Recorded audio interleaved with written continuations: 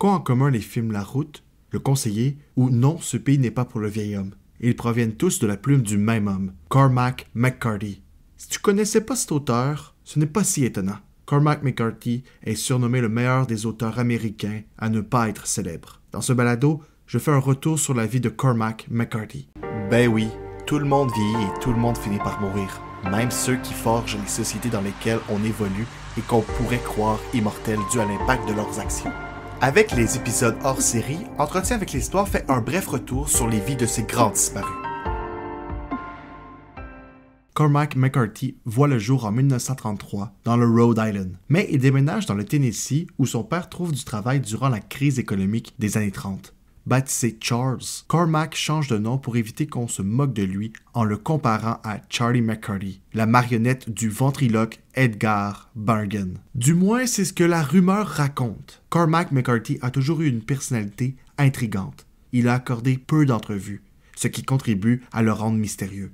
Après des études à l'université, McCarthy s'enrôle dans l'armée durant quatre années. À son retour dans le sud des États-Unis, il se met à l'écriture d'un premier roman au milieu des années 60. Ces quatre premiers romans se rangent dans un style appelé Southern Gothic, que l'on relie au décor marécageux des États-Unis et des croyances macabres, des lieux délabrés et des personnages troublés. Inspiré tout au long de sa vie par William Faulkner et Herman Melville, la plume de Cormac McCarthy se caractérise tout au long de ses publications par des épopées de personnages marginaux ou atypiques campés dans le sud-ouest des États-Unis. Les thématiques de McCarthy ne sont pas très lumineuses. Il écrit sur l'inceste, le viol, le cannibalisme et la nécrophilie.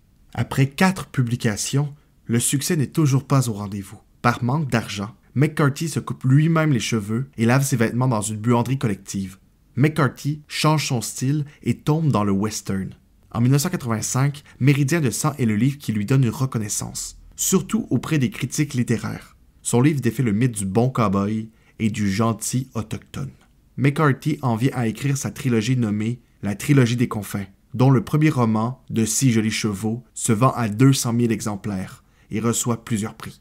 No Country for Old Men confirme son titre d'auteur prolifique. Cette histoire est éventuellement adaptée au cinéma par les frères Cohen et récolte 4 Oscars, dont celui du meilleur film. En 2006, The Road est publié. Il s'agit du plus grand succès de Cormac McCarthy et est considéré comme l'une des plus grandes œuvres littéraires du 21e siècle. Dans ce roman post-apocalyptique, l'auteur dépeint la relation entre un père et son fils et ce qu'on lègue réellement à ceux qui restent après sa mort. Le duo évolue dans un monde où la vie se fait rare après que la Terre ait vécu un apocalypse. Le père et son fils conservent l'espoir d'atteindre une Terre habitable et veulent éviter les autres survivants qui survivent généralement grâce au cannibalisme. Le livre reçoit un prix Pulitzer et est adapté au cinéma en 2009 par John Hillcoat avec Viggo Mortensen dans le rôle du père. Mis à part les romans, Cormac McCarthy a écrit pour le théâtre, la télévision et le cinéma. En 2013, Le Conseiller, un film de Ridley Scott, dont le scénario est celui de Cormac McCarthy, sort dans le cinéma. Malheureusement, le film est généralement mal reçu à cause de ses nombreux clichés. En 2022, Cormac McCarthy publie deux romans, ses deux derniers romans.